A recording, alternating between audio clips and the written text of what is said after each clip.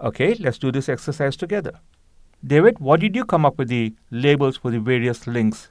So I looked at the vocabulary we used over here and decided to use the same vocabulary over here. Just like Z was above both X and Y, T is above both S and R. So I said T is above S and T is above R. Just like Y was inside X, S is inside R. So I said that S is inside R. Over here, I saw that S is above R, just like Y was above X. So I said S is above R. Now, David made an important point here.